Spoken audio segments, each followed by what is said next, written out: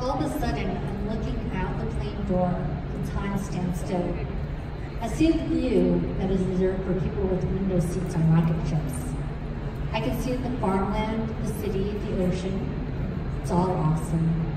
Meanwhile, Ian is signaling me to scoot farther out the door and put my head back.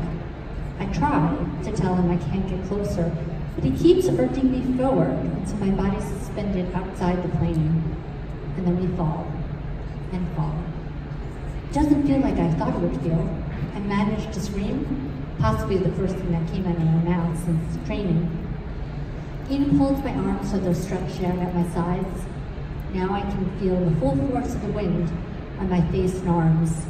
The skin on my face pulls as the wind presses against my bones and pulls the crevices around my nose where the skin doesn't know where to go. Feels like my screams are never given a chance to leave my body. They blow back into the mouth as I fall. Thank you.